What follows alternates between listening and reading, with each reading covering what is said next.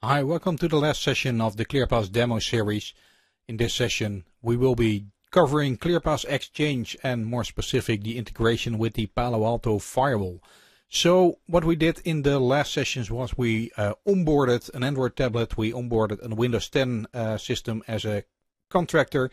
We did some profiling on uh, uh IP phones, on access points, and we used this uh, demo setup for um, for that uh, for that demo. And um, there is a Palo Alto firewall here. And what we can do, uh, which is pretty cool, is from the ClearPass, as soon as we learn the identity of a user on the network, we can share that information uh, with Palo Alto. And um, we call that ClearPass Exchange. Uh, it can be done with Palo Alto. It can be done with a lot of other uh, equipment as well. Um, but here for the demo, we will be showing the uh, Palo Alto uh, integration. So um, yeah, let's bring in uh, the ClearPass server again and uh, show you uh, what uh, needs to be done to make this happen. So you might have noticed that here in the access tracker I didn't explain that. But here in the enforcement profiles, uh, we see an update PANW. Also here in the output tab, you can uh, also see that we updated the Palo Alto firewall. So this uh, means that it has been configured and it's um, working uh, working fine. Um, also, we see here um, both wired and wireless LAN uh, authentications uh, coming in. So from the Aruba wireless network, from the Aruba OS switch uh, wired network, and um, to configure this uh, Palo Alto thing, we start here at the uh, external servers under administration and the endpoint context servers.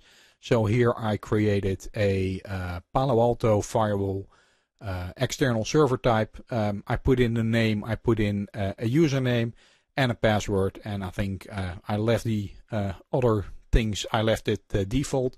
And of course, we need to create this username and password as well on the Palo Alto firewall. So this is my Palo Alto firewall here under device. We have our administrator and the administrator is called ClearPass and um, this is the same password that I put in into the ClearPass server. And uh, what's uh, specific here is that I have a profile an admin profile uh, called user ID XML. I'm not sure if that's in uh, by default or I created it. Um, however, if we have a look in this uh, profile, uh, what you can see here is that it has uh, disabled all features on the web UI. It has disabled the command line and here under XML API. So ClearPass is talking over an XML API uh, to the Palo Alto firewall we only have enabled the user ID agent. So this uh, ClearPass user can only update uh, user ID information, which is uh, the method for uh, Palo Alto to get uh, identity information from external sources like uh, ClearPass. So further um, here on the network, if we have a look at the zones, we need to enable user ID on a zone um, if you don't do that, it will not uh, work. It will not fetch uh, the usernames. And trust me, um, I spent quite some time to uh, find this out. Um, and here on VLAN 2, this is the VLAN where our clients uh, are getting in. Uh, I have enabled the user ID to make this uh, work.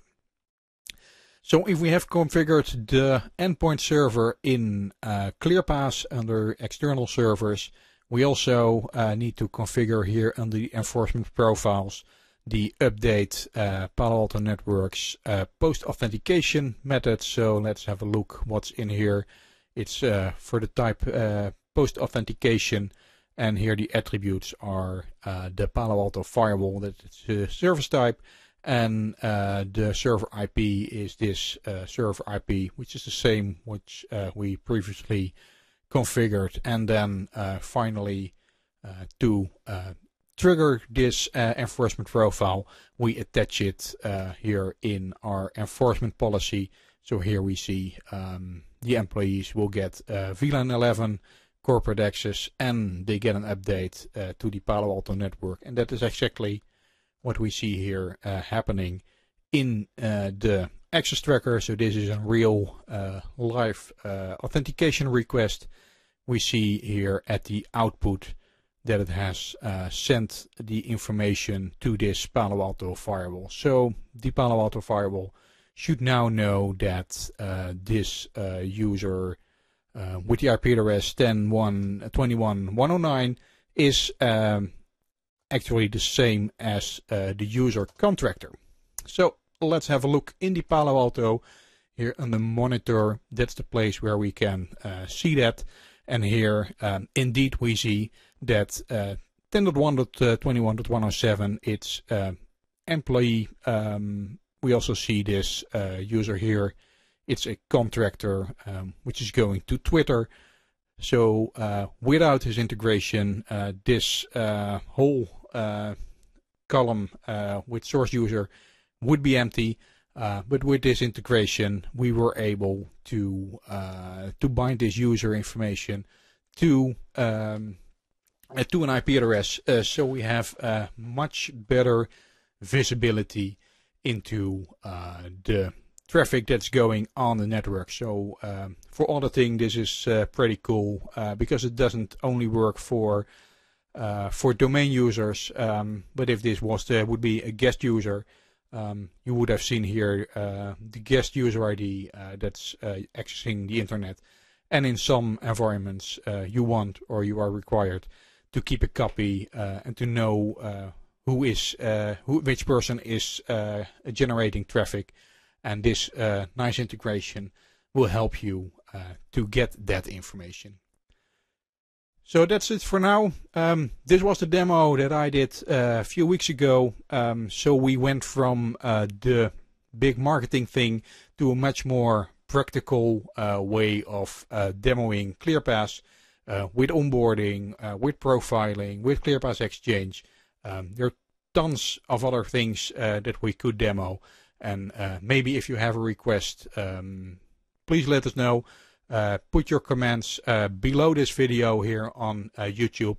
We'll read it, and if there are uh, nice comments and nice requests, uh, we may create a video like this specifically on that topic.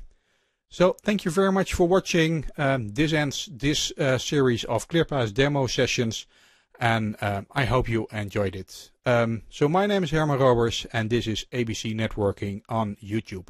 Thank you very much for watching.